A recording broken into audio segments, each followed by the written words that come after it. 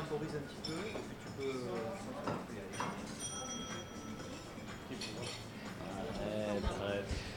Bonsoir et bienvenue dans le JTDPO, le numéro 44, le premier magazine vidéo des Pyrénées-Orientales. Alors aujourd'hui, je suis au Metz, à Perpignan, et très bien entouré euh, de Christopher et de Julie. Et, et- et le Metz, c'est un peu the place to be ici à Perpignan. C'est parti.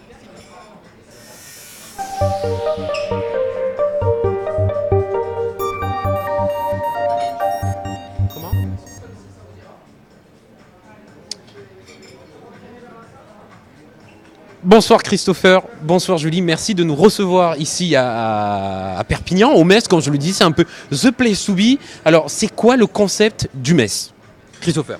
Alors, le concept du Metz, c'est un restaurant, bar à sushi et, euh, et faire plaisir aux gens, faire plaisir, aux- faire plaisir à nos clients. C'est ça le, le concept. Ça fait combien de temps que vous êtes ouvert euh, ici? Donc, juste en face du Castillet, hein, juste en face du Castillet, à côté de d'Amorino. Euh, on a ouvert le 1er septembre, là, donc ça fait tout juste deux mois. Alors, on va parler un petit peu, bien évidemment, de la, première, chose qui surprend agréablement dès qu'on rentre, c'est la décoration. C'est absolument magnifique. C'est sur euh, un rez-de-chaussée, un niveau. L'idée, c'est quoi? Vous avez essayé d'apporter quelle touche? Parce que il y a un mélange, c'est exotique, mais à la fois très classe, très chic. Ça nuance avec un petit peu la nourriture qui est proposée. Qu'est-ce qu'on y trouve au final Ça, c'est ma, femme qui a, fait toute la décoration euh, avec euh, quelques fournisseurs. On a travaillé ensemble avec euh, plusieurs, personnes qui sont un peu des amis, qui sont devenues des amis. Et on, a, fait un peu un restaurant où, tout ce qu'on voulait des voyages qu'on a fait. Tokyo, Dubaï, pour faire un peu, apprendre bien les, techniques de cuisine japonaise et orientale, tous les types de cuisine. Je fais une cuisine du monde. C'est pour ça qu'aujourd'hui, j'ai fait un restaurant avec une décoration du monde. Assez, euh, aussi, on ressent un peu le Brésil avec un peu les, plantes et, euh, et euh, ce verre. Et la France avec cette cave à vin magnifique qu'on a aussi on a mis en place. Et, un- et une cuisine un peu élaborée, euh, fusion, cuisine fusionnée, sushi, euh, viande, poisson, euh, où on, où on travaille avec plusieurs types de, de, de goûts et de, et de textures. euh. Et on va y revenir. Juste pour terminer, quand même, sur la note chic, classe. C'est vous, Julie? Oui. C'était quoi l'idée? Bah, L'idée, c'était voilà, de donner aussi un, un lieu différent euh, aux Perpignanais où ils peuvent se retrouver euh, entre amis, être, se sentir dans voilà, un endroit euh, chaleureux, euh, agréable. Voilà ce qu'on a recherché, quoi, une bonne ambiance. Je, pense que c'est réussi. Je vous invite à, venir voir le, le Metz. C'est euh, en tous les cas niveau décoration très superbement réussi. Mais on va parler bien sûr et bien évidemment de ce qu'on y mange. J'ai pu voir quand même derrière le bar des personnes en train de travailler du poisson cru qui a l'air somme toute excellent, en train de travailler des sushis à la main. Ça a l'air d'être euh, fait maison, artisanal et avec beaucoup beaucoup d'expérience. C'est ça? Oui, c'est ça, tout est fait maison. Ça fait euh, quelques années où je, je voyage et je travaille dans des, des gros restaurants pour, euh, pour avoir les techniques et pouvoir avoir un savoir-faire et passer ce savoir-faire à mes cuisiniers qui sont tous euh, en train de montrer le concept de cuisine devant les gens, c'est pour, pour rien cacher. Je cache rien de ce qui- ce qu'il y a, ce qu'il y a comme produit. Et vous n'en êtes pas à votre premier coup d'essai, il me semble, puisqu'on connaît Christopher quand même de chez Christopher, le fameux restaurant sushi où il faut aller manger ses sushis, sinon, euh, sinon c'est pas possible. Quoi. On n'a pas goûté des vrais sushis. C'est en face de Caliceo, c'est à Saleil. Ça, comment comment l'idée est venue en fait? L'idée est venue, euh, on, était, on voulait faire un restaurant à tout prix parce qu'on on, on était en couple et on voulait faire ça. Et euh, l'idée est venue, on s'est dit on, fait un petit restaurant dans une zone pour voir ce que ça donne, si les gens, ça va plaire aux gens, ça va plaire à nos clients. Comme, je travaille dans d'autres établissements, ils me connaissaient un petit peu de, la ville, de la plage, un peu de partout. Et euh, je me suis dit pourquoi pas faire un, mon restaurant et, voir si les clients ils vont nous suivre ou pas. Et donc Christopher pour la nourriture, pour les idées, les créations euh, culinaires, et Julie pour le service, les idées déco Voilà, c'est ça, la salle. euh, on est complémentaires tous les deux. Ben, en tout cas, une belle alliance qui fonctionne bien. Je vous invite à venir voir le mess et retourner chez Christopher si vous n'y êtes pas allé. C'est vraiment très sympathique. Cette semaine, on se retrouve euh, tout à l'heure, hein, juste avant la fin d'émission. Cette semaine, c'est Mélanie Ankar, inscrite sur euh, www.jtdpo.fr, qui gagne deux places de cinéma pour le Méga Castillet ou le Castillet à Perpignan. C'est encore une fois, c'est au choix. Vous inscrivez, vous aussi, inscrivez-vous gratuitement sur euh, jtdpo.fr et tentez de gagner le tirage au sort pour deux places de cinéma. Chaque semaine, on passe maintenant aux informations.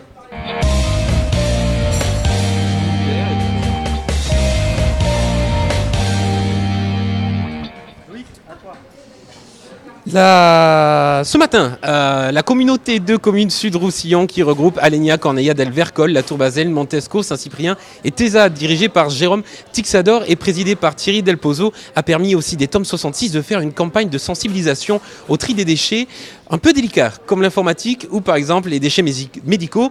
C'est Eric Kama, aussi des tomes, euh, qui toute la journée s'est adressé aux utilisateurs de la déchetterie. Pour ceux qui jettent encore leurs déchets n'importe où, regardez notre reportage La communauté Sud-Roussillon vous offre un outil très pratique. Alors le site Tom 66 a mis en place un jeu euh, roulette dans lequel on fait participer les personnes qui viennent déposer leurs déchets ici. On leur permet grâce à ça de communiquer sur les éco-organismes et de leur faire gagner un cadeau, par exemple une clé USB, un sac cabas, tout en leur remettant un guide sur les déchetteries.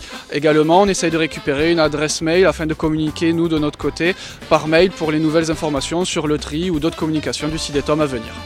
Le but de la visite du CIDETOM sur la déchetterie de Saint-Cyprien aujourd'hui, c'est de présenter les éco-organismes à tous les visiteurs. Les éco-organismes, donc, ce sont différentes entités écologiques, Corépile, Écomobilier, Dasserie et Recyclome qui permettent donc de recycler des produits qui ne l'étaient pas auparavant.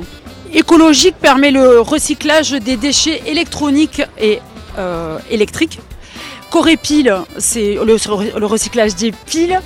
Recyclum, c'est le recyclage des lampes et des ampoules. Euh, les dasseries, c'est les déchets de soins.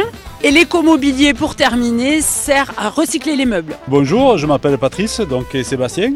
On fait partie donc, de la ville de Saint-Cyprien. Donc, nous venons en déchetterie pour déposer donc, tout ce qui est euh, des ordures, tout ce qui est, euh, on appelle ça les monstres, que les personnes laissent dans, dans la ville de Saint-Cyprien donc euh, à des endroits qui ne sont pas faits pour ça.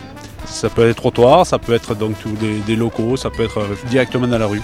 Je suis euh, en train de trier, qu'on appelle ça, tous les, déchets qu'il y a autour des colonnes, et ainsi de suite, et les mettre dans les bennes qui correspondent. Et en même temps, comme les gens ne le font pas, eh ben, c'est on est obligé de le faire au lieu de faire autre chose. Et c'est vraiment dommage, parce qu'on a d'autres choses à faire que s'occuper de ce que les gens ne peuvent pas faire. Bonjour, et ben aujourd'hui on se retrouve à devoir déménager la, petite maison de mamie et du coup on vient à la déchetterie de Saint-Cyprien qui est super pratique de refait il y, a, si peu de temps euh, on peut déposer le bois dans les, dans, les, dans les conteneurs à bois, le carton dans le carton plutôt que d'aller jeter ça dans la nature. Franchement c'est super bien fait, il n'y a plus qu'à venir et c'est facile. Voilà. Ce matin à Bagnoul-sur-Mer, un exercice s'est déroulé dans le cadre du dispositif départemental de lutte contre les pollutions par hydrocarbures à terre, dit dispositif Orsec Paul Marter. En effet, Philippe Chopin, le préfet des Pyrénées-Orientales, organise jusqu'à demain une session de formation et de déploiement de matériel anti-pollution sur la commune de Bagnoul-sur-Mer. Cette action de formation s'adresse aux communes et intercommunalités littorales, aux services départementaux des services de secours et aux autres acteurs du milieu marin susceptibles d'être mobilisés en cas de crise. Elle a pour objectif de rappeler les du plan et de former les personnels à la mise en œuvre pratique de moyens de lutte contre les pollutions au travers de divers chantiers. On écoute John Scholzer, responsable unité gestion du littoral de la délégation à la mer et au littoral à la direction départementale des territoires de la mer. C'était du par cœur. Aujourd'hui donc sur, la commune de Bagnoul-sur-Mer pour euh, la mise en œuvre d'une formation euh, à la lutte anti-pollution, une formation Polmar, euh, qui a pour but de former l'ensemble des, personnels des collectivités et des différents services euh, à la mise en œuvre de matériel euh, de lutte anti-pollution maritime, essentiellement par hydrocarbures. L'idée, c'est de déployer deux différents barrages dans la baie et sur le port de Banyuls pour protéger les enjeux qui se trouvent derrière d'éventuelles pollutions venues de la mer sont engagés euh, en ce moment euh, une dizaine de moyens nautiques, euh, ainsi que 90 personnels qui sont sur différents ateliers en train de mettre en œuvre les différents barrages et les moyens de récupération du polluant qui pourrait venir à la côte. Donc l'idée c'est que tous les personnels puissent tourner dans ces différents ateliers pour comprendre ce que sont les barrages, comment ils fonctionnent, comment on les met en œuvre, comment on les replie également et quelle est la chaîne de récupération euh, des polluants euh, qui pourraient être euh, recueillis? Donc ici nous sommes sur le chantier de la mise en place du barrage pour protéger la baie de Banyuls. Cela consiste à dérouler et mettre en place un barrage de 290 mètres de longueur, un barrage flottant, gonflable, qui aura pour principe d'avoir trois points d'ancrage. Un sur, au niveau de la sortie du port de Banyuls, un au milieu de la baie et un au niveau du quai à l'opposé de la plage. Avec ces trois points d'ancrage, nous allons tracter et mettre en œuvre avec les embarcations, notamment de la SNSM, ces 300 mètres de barrage pour protéger la baie et la plage de Bagnous. Je travaille au Cèdre, je suis ingénieur et euh, je fais partie de ce centre qui est le centre de documentation, de recherche et d'expérimentation sur les pollutions accidentelles des eaux. Et on est en charge en fait euh, du soutien aux autorités en termes de formation euh, sur la lutte anti-pollution et également, en cas de pollution, on peut être mobilisé par les autorités pour apporter une expertise. C'est une situation de, formation qui se répète euh, de manière régulière plusieurs fois euh, tous les, tous les 3, tous les 4 ans. Euh, l'idée, c'est de permettre de former un maximum de personnel pour que lorsqu'une crise intervient, on puisse avoir une ressource suffisante en termes de personnel et de matériel et que la mise en œuvre soit la plus efficace possible. Euh, cette euh, formation va durer toute la journée. La matinée sera consacrée euh, à la mise en œuvre des moyens, à leur utilisation et en début d'après-midi au repli de ces matériels qui n'est pas non plus une chose aisée puisqu'il faut les reconditionner, les rincer et les remettre en œuvre pour qu'elles soient évacuées sur le centre Polmar de Sète qui est le centre de stockage de l'ensemble de ces matériels. Play Curious, Mallette, euh, Escape et UPVD Incube, l'incubateur d'entreprise euh, de l'Université de Perpignan via Domitia, ont organisé ce week-end la Perpignan Game Jam. 48 heures pour créer un jeu vidéo, des pros comme des amateurs, développeurs, game designers, graphistes, sound designers, illustrateurs, musiciens, animateurs, vidéastes ont relevé le challenge du vendredi soir jusqu'au dimanche 11 après-midi. Certains ont même apporté leur matelas.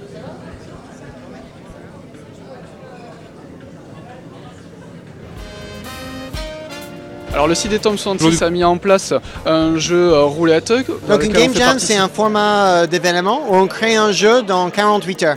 Donc c'est, euh, ça se fait un peu partout dans le monde, mais à notre connaissance, c'est la première fois que ça se fait à Perpignan. Donc pourquoi pas ici on, a, on a fait le tour des différentes écoles et on essaie de motiver les étudiants, des, professionnels. Même les gens qui n'ont jamais fait des jeux vidéo auparavant, c'est pas un problème. N'importe qui peut venir, c'est ouvert, c'est gratuit. Euh, et en gros, ce qui va se passer, c'est qu'on va présenter les choses. Euh, des gens vont, on va présenter un thème, euh, un peu de surprise, les gens ne connaissent pas encore. Ils ont 20 minutes de penser à une idée. Puis ils vont passer devant tout le monde et ils vont pitcher leur idée. Ils vont dire Ah ouais, moi je veux créer un jeu où on part dans l'espace et on va explorer les planètes. Et après, des autres personnes vont venir dire Ok, moi aussi je veux faire ça avec toi. Ils forment des équipes. Et à partir de là, c'est parti. Et ils bossent pendant 48 heures. Et euh, dimanche midi euh, à 14h, on va dire stop. Euh, tout le monde vient ici à nouveau et on va projeter des, différentes créations ici. Et les gens vont voter, on a un petit jury et tout, c'est vraiment super. Et c'est vraiment un, très bon moment pour tout le monde. On porte un projet qui s'appelle Play Curious. Le principe c'est de proposer des, de la vulgarisation pour le grand public adulte via le jeu vidéo on est très content dans le sens où euh, c'est une première initiative à Perpignan. On ne savait pas quelle portée aurait euh, le, projet. Et euh, le nombre de participants dépasse nos espérances et on a attiré des participants de Montpellier, de Toulouse et de Barcelone même. Grâce au partenariat d'incubation avec l'incubateur. Laura Crène, je m'occupe de l'incubateur à l'Université de Perpignan, donc on est très heureux de soutenir cette initiative donc, qui est portée par deux porteurs de projets incubés ici à l'Université de Perpignan. Donc l'objectif aussi, c'est de réunir en 48 heures des gens qui viennent un peu partout. On a des Toulousains, des Montpelliérains, des Barcelonais qui sont tous passionnés par le jeu vidéo. Donc euh, l'objectif, c'est de remplir euh, tous ensemble euh, un challenge donc, et d'avoir un public de passionnés dans un lieu dédié à l'innovation qui est UPVD Incube. Et de retour sur le plateau avec Christopher et Julie. Ça sent bon, vous vous imaginez même pas, il nous tarde de venir manger ici et justement on va en parler un petit peu euh, des menus, comment ça fonctionne, est-ce qu'on mange tout au long de la semaine, quels sont un petit peu les horaires et le mode de fonctionnement de ce nouveau restaurant Le Mess. Allez. Ouvert tous les jours, 7 sur 7, hein, de midi. Euh, restauration jusqu'à 23h, hein, non-stop. Donc, On peut manger l'après-midi. voilà, midi, l'après-midi, tout le temps. C'est ça qui est intéressant. C'est ça qui est intéressant parce qu'on a fait quelque chose comme un peu à Barcelone. C'est-à-dire qu'on on, on peut, on commence à, à- à- à travailler le midi. On a une formule du midi qui est à 18 euros où on a un très plat dessert. Et, et- et- et après, derrière, on, on- on peut manger, on a fini de manger le repas du midi. Il y a d'autres personnes qui peuvent venir manger aussi l'après-midi, manger des sushis à toute heure. Manger des sushis à toute heure. On fait de l'emporter aussi. Et bientôt la livraison au, au niveau sushi. Et, euh, et, euh, et on sert jusqu'à 23h. On a un service très tardif. Donc si on a une petite fringale, euh, plus besoin de chercher, on vient et juste à côté du Castillet, en plein centre, on va bientôt pouvoir se faire livrer. Et ça, c'est quand même Ouais. super cool. Ouais, c'est sympa. On va parler de la nuit aussi parce que euh, le Metz, ça va devenir un petit peu euh, la place active de Perpignan by night, faut le dire. Il y a un côté bar, il y a un côté lounge, un petit peu. Jusqu'à quelle heure? Au rez-de-chaussée, jusqu'à 1h30, 2h. Euh, Voilà, on a des DJ euh, en permanence et on fait des soirées. Euh, Bon, là, ce soir, c'est ma- c'est mardi, donc on a une soirée voyance. Euh, voilà. Ouais, on a une voyante qui vient tous les, tous les, tous les mardis soirs. Ensuite, euh, voilà, le jeudi, vendredi, samedi, des DJ, des lives, euh, des musiciens, donc des chanteurs. Tous les, tous, les, so- tous les soirs, on fait quelque chose. Le mercredi, par exemple, ça va être une soirée brésilienne avec churrascaria, une viande à l'épée. Ça va être viande à volonté. Et de la samba. Et de la samba. Tu vas danser. Voilà. Oui, c'est ça. On va se régaler. Grosse ambiance. Grosse ambiance les mercredis au Metz, soirée samba. On va se régaler. Alors, pour terminer, euh, pour terminer cette interview, on a quand même Max, euh, Max qui nous demande euh, Max dans les commentaires. Max comptoir, ami. Mais où est passé Cyril? Alors, faut dire qu'on a la chance de recevoir ce soir sur le plateau Cyril Lignac, quand même, messieurs dames. Et c'est pas n'importe quoi. Pour Cyril, ah, ouais, sérieux. Il est pas craquant gourmand. Ah, ah, super Cyril. C'est notre chef de salle. C'est notre responsable, le directeur du restaurant. Aujourd'hui, c'est. Encore un autre Cyril. projet après le meilleur pâtissier, euh, les meilleurs sushis de Perpignan. C'est ça, après le meilleur pâtissier, c'est au Metz directement. Super, super. C'est du beau monde, du beau monde à Perpignan. C'est vraiment super. Merci beaucoup, merci à vous trois. Euh, on vous rappelle que pour gagner des places de cinéma chaque semaine, il suffit de vous inscrire gratuitement sur www.jtdpo.fr et vous pourrez à travers notre site et application poster vos infos, vos photos, vos vidéos et recevoir des alertes dans l'onglet utilisateur. C'est maintenant terminé. Je vous remercie de nous avoir euh, suivis euh, ce soir et une semaine de plus ici au Metz. Et je vous donne rendez-vous la semaine prochaine en direct sur les réseaux sociaux.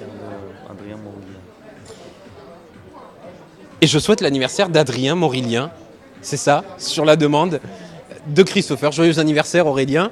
À la semaine. Adrien, Adrien. J'ai une mémoire qui dure deux secondes. Voilà, sur les prénoms, je suis fatal.